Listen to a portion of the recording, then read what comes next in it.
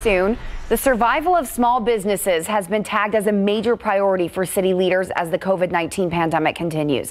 Today, hundreds of gallons of hand sanitizer and personal protective equipment were handed out by Mayor Ron Nirenberg and volunteers at the Alamodome. The night team's Alicia Barrera was at the distribution and spoke with business owners about how much these supplies will help them. Waking up early and sitting in line are the small sacrifices these local business owners had to pay compared to what they've endured since the pandemic slowed down or completely cut off their source of income. Stay safe. I just want to thank everybody here today for volunteering their time and, and helping businesses get right back on track. Joe Paratus owns an event venue. It's a reception hall. Uh, it's called Imperial Ballroom. Today's distribution will help make sure he has the supplies needed to protect himself his staff, and future customers. We've been closed since March of, uh, of this year, so it's been kind of tough.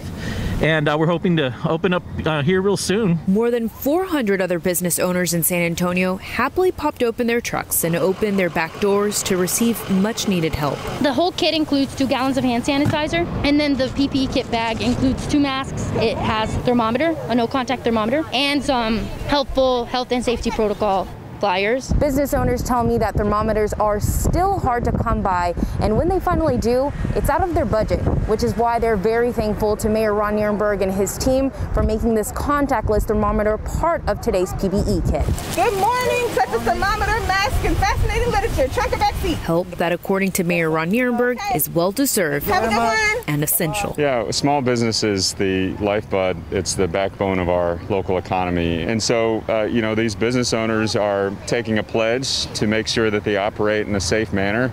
And being able to do that is what will get this economy going again. We have two. You need two more. According to the mayor's office, the Economic Development Department is already working towards another event. They're going to make sure to work with their two partner organizations to reach businesses that maybe, you know, can't come to us. Things are going to be a little bit different because of the pandemic and the virus out there, but we can show that we can do things safely. A link to the Economic Development Department's website can be found right now on KSAT.com. Have a good one. Alicia Barrera, KSAT 12 News.